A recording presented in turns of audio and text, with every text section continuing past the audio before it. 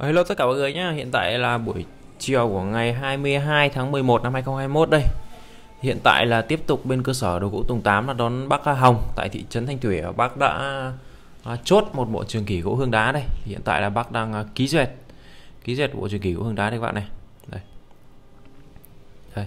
Trước mắt khách hàng đây là bộ trường kỷ gỗ hương đá bao gồm 3 món. Kích thước dài 2m17 hàng đại. Đây, đang được khách hàng là chốt à, bác Hồng tại thị trấn Thanh Thủy.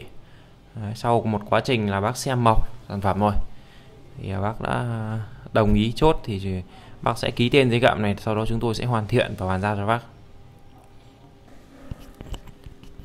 Đấy, video tôi đang quay trực tiếp tại uh, xưởng sản xuất của đồ gỗ Tùng Tám đấy nhé Đấy, các bác có nhu cầu thì hãy liên hệ bên xưởng còn rất là nhiều. Các mẫu uh, trường kỷ bàn ghế trường kỷ bàn ghế phòng khách rất là nhiều đây, video đang quay trực tiếp phía bên trong xưởng đây.